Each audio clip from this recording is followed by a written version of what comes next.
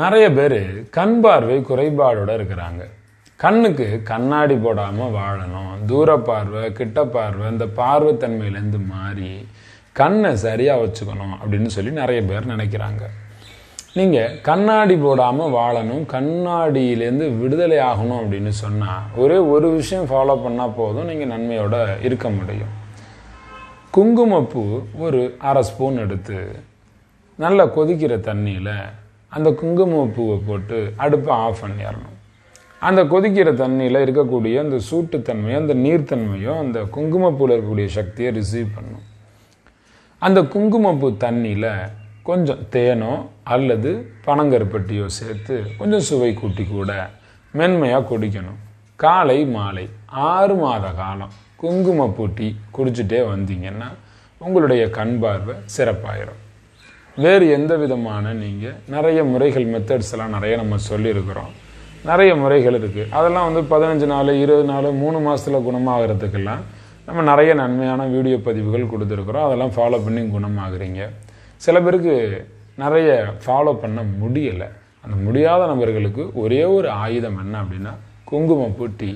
இதுவும் முடியாது நீங்கள் சொன்னீங்கன்னா ஆண்டவன் அழகாக உங்களை பார்த்து சொல்லுவான்.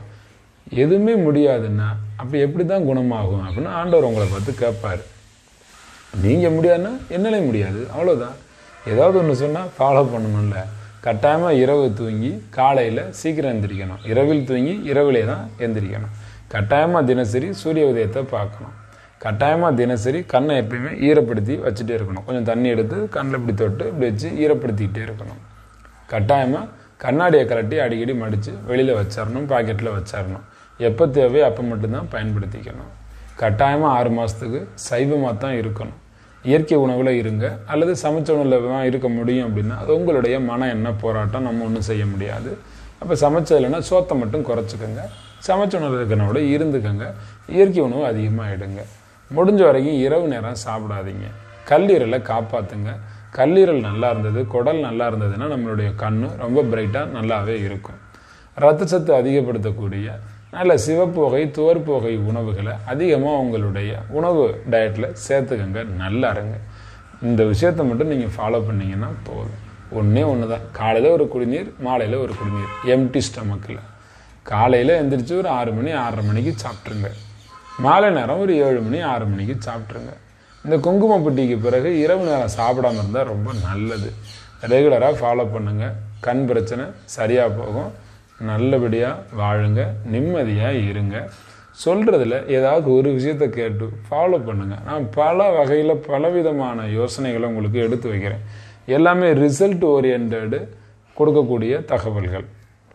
எல்லாமே ஃபாலோ பண்ணி அதன் மூலமாக குணப்படுத்தி அனுபவத்தின் மூலமாக தான் உங்களுக்கு எல்லாமே சொல்லிக்கிட்டு இருக்கிறோம்.